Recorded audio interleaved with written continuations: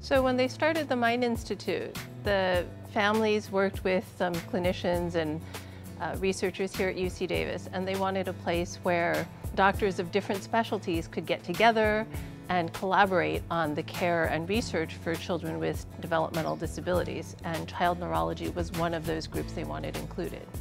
My role is as a clinician and as a teacher. So I see children with neurodevelopmental disabilities and care for them. Um, a very high incidence of children with autism also have seizures. And so I would help with their seizure management and, and um, helping to identify episodes that may or may not be seizures. I also uh, really am interested in teaching.